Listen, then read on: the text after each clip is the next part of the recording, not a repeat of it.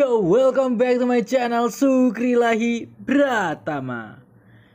Oke teman-teman ya, jadi di video kali ini aku tuh bakal kembali mereaksi video terbaru dari Vicky Naki nih. Waduh, oke. Jadi kemarin tuh kita udah ngira bahwa video uh, season keempat tuh selesai ya, karena uh, Tuba pulang gitu kan dan bikin vlog perpisahannya gitu.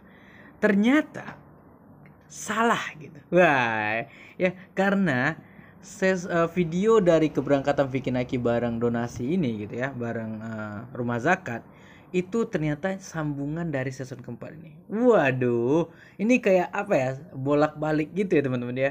Jadi kayak uh, gimana ya cara jelaskannya diajak tuba ke Indonesia tuba berangkat Vicky nyusul. Wede ya begitulah cinta teman-teman ya. Begitu sulit untuk jelaskan gitu ya. Selalu ada cara dari Tuhan untuk membuktikannya gitu. Wede bahasaku dalam kali hari ini teman-teman. Baiklah kita akan langsung aja mereaksi video terbaru dari Vicky Naki kali ini.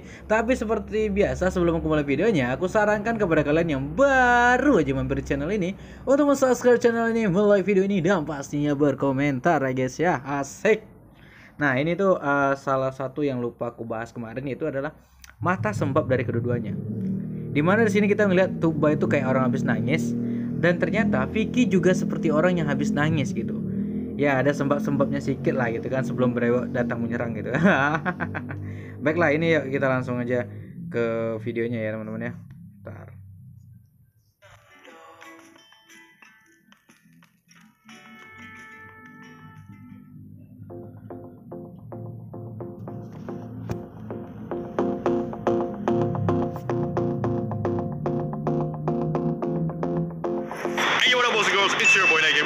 Guys doing well. Espero guys saya semua Ini maaf banget aku masih ngantuk banget karena ini masih jam 6 pagi guys. Jadi sekarang itu kita mau ke mana?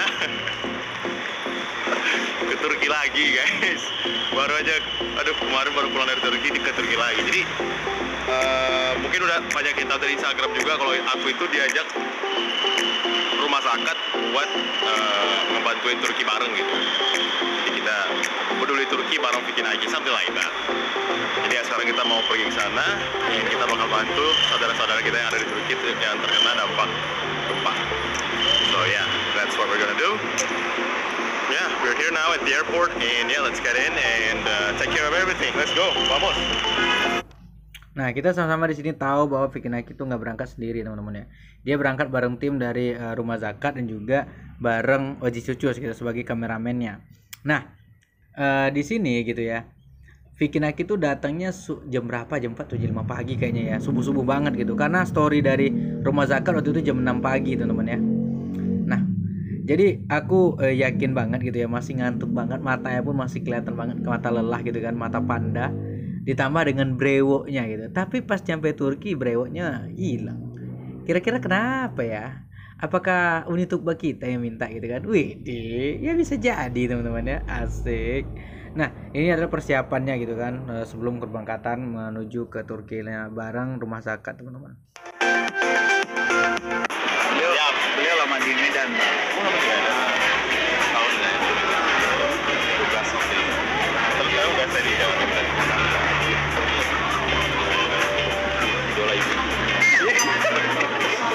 saya agak tahu kata saya tanya ke istri wah iya itu ini wah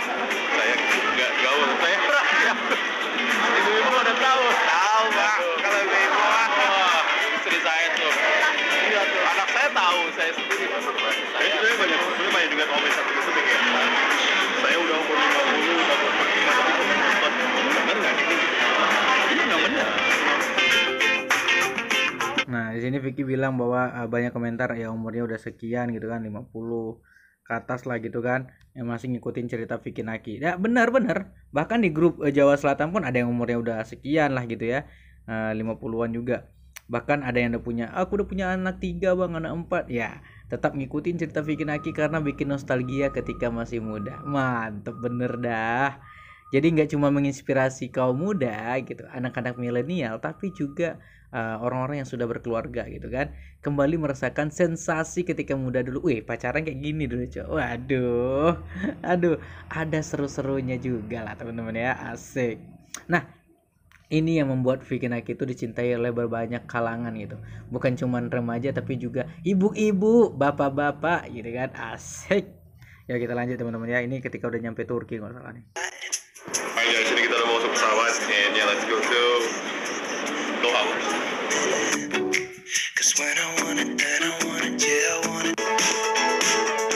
nih kita lanjut dulu teman-teman ya Guys, kita udah sampai di Doha. I'm so sleepy actually. Um, Cokui Kumbar. I, ya, sekarang kita lanjut ke Istanbul, Turki. Awas. Thinking how we used to be way back in time. Vlognya banyak ini ya banyak momen yang nyanyi jadi banyak kita skip juga So good. By the way, look at my beard.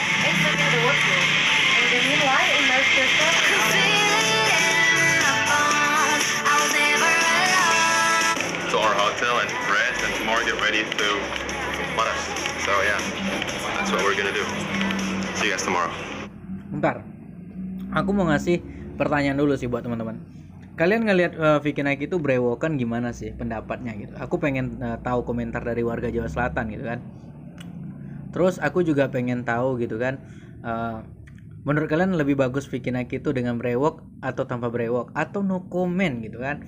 Nah, mau brewok nggak brewok tetap ganteng bang gitu tetap suka gitu. Nah kan beda-beda pendapatnya. Coba deh tuliskan di kolom komentar ya. Good morning. Eh, sekarang itu jam 11 dan kita mau langsung ke bandara karena flightnya itu jam 2.15 langsung ke lokasinya ke Kahraman Maras namanya. So ya, sekali lagi doain kita ya mudah-mudahan semuanya aman di sana and uh, yeah, let's go help our brothers and sisters. Let's go.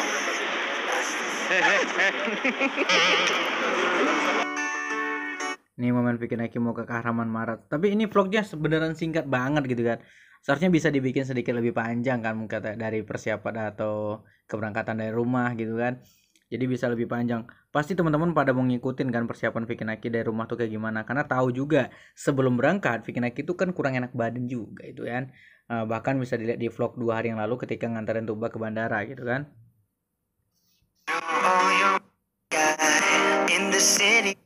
pesawatnya dan nggak ngambil di Bekasi di kasi. Jadi ngambilnya kayak gini. Interesting, interesting. That's boleh. Kita cari. Boleh kanan mungkin pak. Like doesn't matter. I don't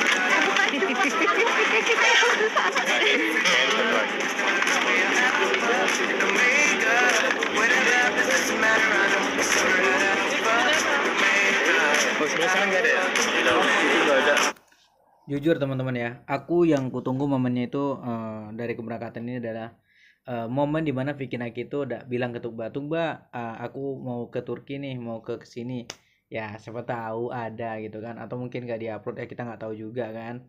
Tapi aku harap sih ada lah di next eh, vlog karena ini kayaknya di vlog ini nggak ada ya. Ini vlog ini masih ada lanjutannya kayaknya, Eh, yaitu momen di Kahran Marat di mana uh, Vicky Naki memberikan eh, donasi secara langsung kepada eh, warga-warga di sana yang terkena dampak dari gempa bumi kemarin. Ya kembali lagi sih, eh, kembali lagi kepada Vicky Naki dan Tuba. Momen yang sangat-sangat dinanti oleh warga selatan sudah pasti itu adalah Q&A. Dan kira-kira pertanyaan apa aja yang akan dijawab? Ya mudah-mudahan jauh lebih menarik dari season ketiga. Di mana season ketiga itu waktu Q&A itu warga Jawa Selatan hampir seluruh Indonesia itu pada senyum-senyum. Itu dua hari kurasa giginya kering terus. Tapi enggak. Yalah yuk kita lihat eh, nanti bagaimana kelanjutan dari vlog ini. Dan mungkin cuma sekian dulu sih video reaksi aku tentang Vicky Naki dan eh, sorry, sorry video terbaru dari Vicky Naki ini. Mudah-mudahan eh, video ini dapat menghibur teman-teman dan pastinya tungguin terus video vlog-vlog terbaru Vicky Naki ayo dong bantu share bantu like bantu komen juga video terbaru Vicky Naki sip sekian dulu video ini. Semoga video ini menghibur teman-teman dan sampai jumpa di video update selanjutnya. Bye bye